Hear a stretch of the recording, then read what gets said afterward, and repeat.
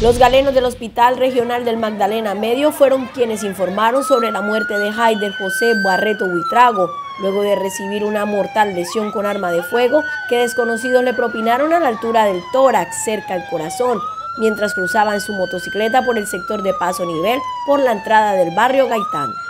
Barreto Buitrago, aunque alcanzó a ser llevado al centro asistencial, fallece debido a la gravedad de la herida recibida. De este hecho, tres hombres que se movilizaban en un vehículo particular fueron capturados y dejados a disposición de la autoridad competente.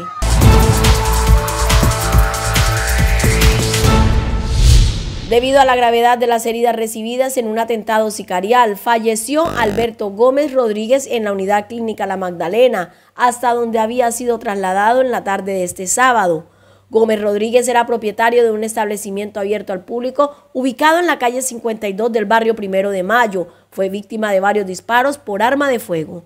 De este hecho, no se ha conocido pronunciamiento por parte de las autoridades. Aún no se determinan las causas del incendio registrado sobre el humedal de la carrera 28. La fuerte llamarada amenazaba con llegar a las casas de los barrios Brisas y Miradores del Cincuentenario.